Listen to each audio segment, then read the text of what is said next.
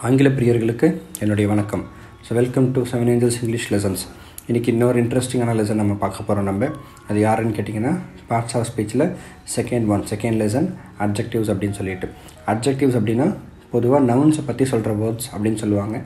நவுன்ஸ்னால் என்னென்னு உங்களுக்கு தெரியல அப்படின்னா டிஸ்கிரிப்ஷனில் அதுக்கான லிங்க் கொடுத்துருக்கேன். நவுன்ஸை பற்றின வீடியோ இன்ட்ரடக்ஷன் ஏற்கனவே ஷேர் பண்ணியிருக்கு. அந்த லிங்க்கை போய் நீங்கள் ஃபஸ்ட்டு ஓப்பன் பண்ணி நவுன்ஸ் என்னன்ட்டு லேர்ன் பண்ணிக்குவாங்க அதுக்கப்புறம் ரொம்ப ஈஸியாக உங்களுக்கு இந்த வீடியோவை புரிஞ்சிக்க முடியும். சரியா? இப்போ வாங்க நம்ம லெசனுக்குள்ளே போகலாம் அப்ஜெக்டிவ்ஸ் அப்படின்னா இல்லை அப்ஜெக்டிவ் அப்படின்னா தமிழில் பெயரடை அல்லது பெயருரிச்சொல் அப்படின்னு சொல்லிட்டு சொல்லுவாங்க. இது தமிழில் சொல்லுவாங்க. இப்போ இவங்களுடைய டெஃபினேஷன்ஸ் நம்ம கொஞ்சம் பார்க்கலாம். புக்கில் என்ன சொல்லியிருக்காங்க அப்படின்னு சொல்லிட்டு. ஃபஸ்ட்டு அப்ஜெக்டிவ் அப்படின்னா it describes a noun or a pronoun அப்படின்னு சொல்லுவாங்க. அதாவது ஒரு பெயர் சொல் அப்படி இல்லைன்னா ஒரு பிரதி பெயர் சொல் இல்லை பிரதி பெயர்னு சொல்லலாம் ப்ரனவுன்ஸ் ஒரு பெயர் சொல்லியோ இல்லை ஒரு பிரதி பெயர் சொல்லியோ விவரிக்கும் வார்த்தை தான் அப்ஜெக்டிவ்ஸ் அப்படின்னு புக்கில் கொடுத்துருப்பாங்க. இன்னும் ஒரு சில புக்ஸில் என்ன கொடுத்துருப்பாங்கன்னு கேட்டிங்கன்னா it tells about a noun or a pronoun same ஒரு பெயர் சொல் அல்லது ஒரு பிரதி பெயர் சொல்லை பற்றி சொல்கிற வார்த்தை. ஃபஸ்ட்டு விவரிக்கிற வார்த்தைன்னு பார்த்தோம். இங்கே சொல்கிற வார்த்தை அப்படின்னு சொல்லிட்டு கொடுத்துருப்பாங்க.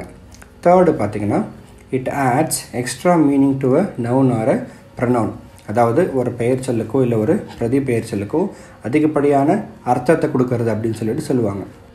இது பொதுவாக வந்து நம்ம புக்ஸில் படிச்சிருக்கலாம். இல்லை டீச்சர்ஸ் கிட்ட நம்ம கேட்டிருக்கலாம்.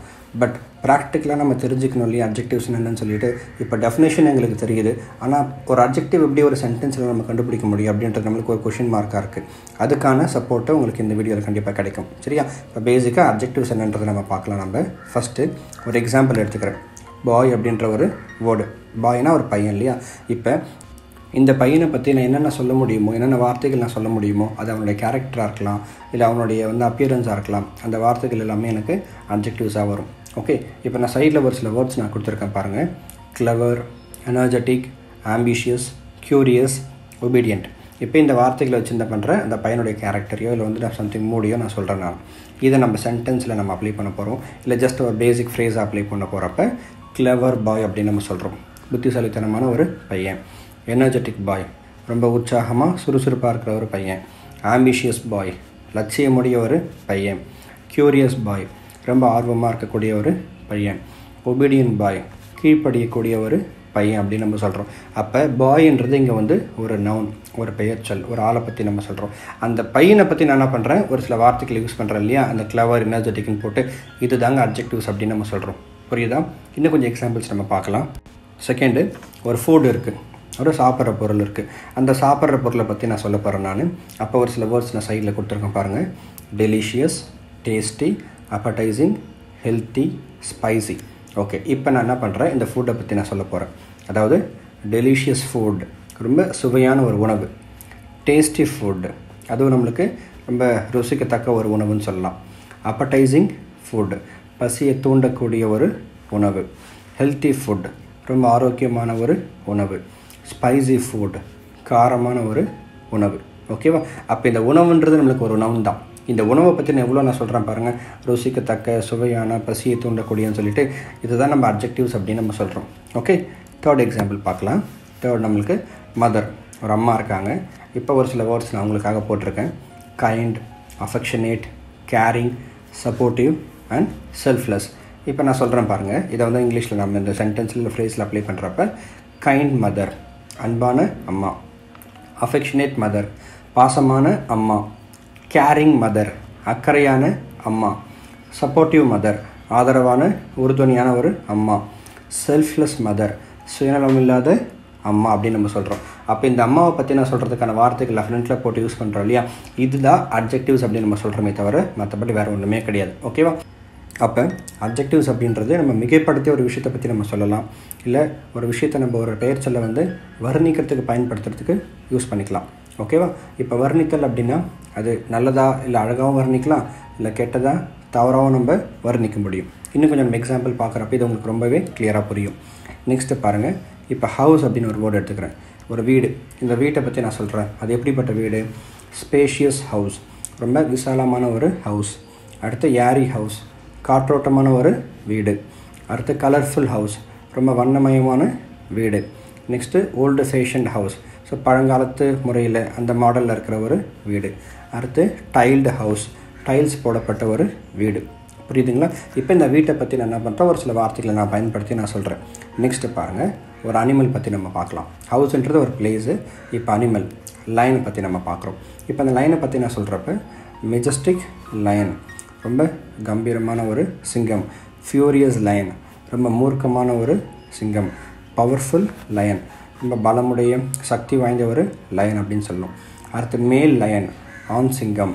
அடுத்து வைஸ் லயன் ரொம்ப ஞானமான ஒரு சிங்கம். இல்லை புத்திசாலித்தனமான ஒரு சிங்கம் அப்படின்னு சொல்லலாம். இப்போ இந்த வார்த்தைகள்லாம் யார்? அப்ஜெக்டிவ்ஸ் அப்போ லயன்ன்றது ஒரு அனிமல் தான். அந்த அனிமலை பற்றி நான் சொல்கிறதுக்கு பயன்படுத்த வார்த்தைகள் எல்லாமே எனக்கு அப்ஜெக்டிவ்ஸாக வரும் எனக்கு. இதுதான் நம்ம பெயர் ஒரு சொற்களில் பெயரடி அப்படின்னு நம்ம தமிழில் சொல்கிறோம் இன்னொரு எக்ஸாம்பிள் பாருங்கள் ஒரு திங் மொபைல் அப்படின்றது ஒரு திங் இந்த மொபைலை பற்றி நான் சொல்கிறேன் ஸ்லிம் மொபைல் ரொம்ப அழகாக ஸ்லிம்மாக இருக்கும். ப்ரைஸி மொபைல் விலையுறந்த ஒரு கைபேசி. லேட்டஸ்ட் மொபைல் இப்போ தான் ரிலீஸ் பண்ண புதுசாக வந்த ஒரு புது மாடல் மொபைல் கைபேசி.